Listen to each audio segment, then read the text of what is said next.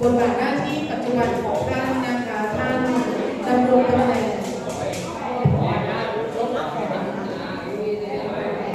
ตบมือสามครั้งค่ะ อีกหนึ่งครั้งค่ะอ่าเอาใหม่ค่ะหนึ่งสองสามขอบคุณค่ะป้าเด็กน้อยเนาะ นะคะขออนุญาตแนะนำท่านวิทยากรนะคะ ท่านดรยโสธราศิริภาประภากรค่ะ ปัจจุบันนะคะท่านดำรงตำแหน่งรองผู้อำนวยการสำนักงานปฏิบัติธรรมแห่งที่สอง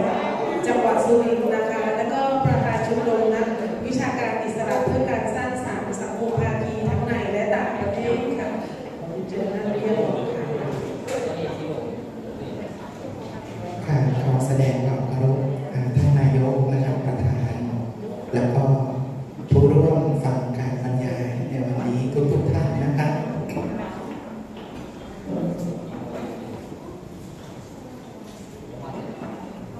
หัวข้อนี้นะครับว่าในเรื่องของปัญญา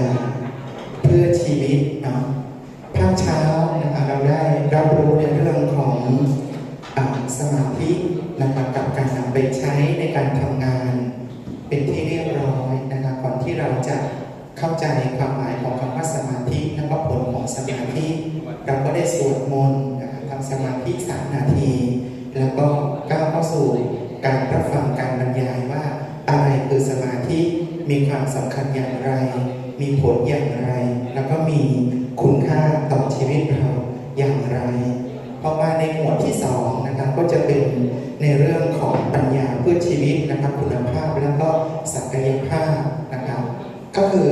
เอาสมาธินั่นแหละมาสร้างผลกำไร เอาสมาธิมาสร้างมูลค่า เอาสมาธิมาส่งเสริมแนวทางการปฏิบัติงาน ของเราด้วยการควบคู่ด้วยคำว่าปัญญานั่นเองนะครับแล้วก็ภาคบ่ายนี้ก็จะเป็น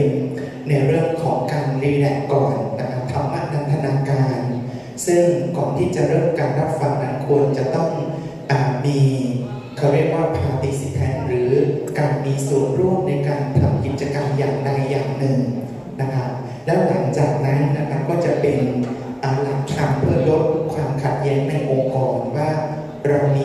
อะไรบ้างที่สามารถมาลดความขัดแย้ง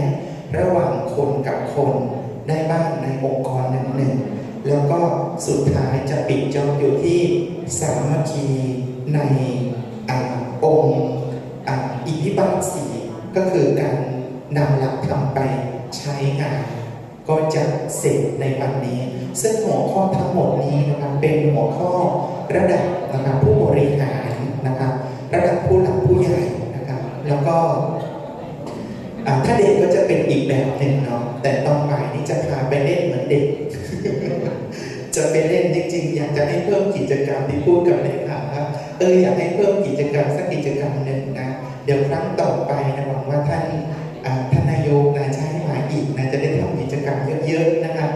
อ่าทีนี้เรามารับรู้กันนะครับอ่าเรามารับรู้กันนะขอแนะนำตัวอีกครั้งหนึ่งเนาะนะข้าพเจ้ามีนาม ว่ายโสธารานะคะสิริภาประภากรนะอะที่เขาเรียกว่าด็อกเตอร์เพราะว่าจบปริญญาเอกนะครับพิศีนะคะสาขาพระพุทธศาสนาและปรัชญา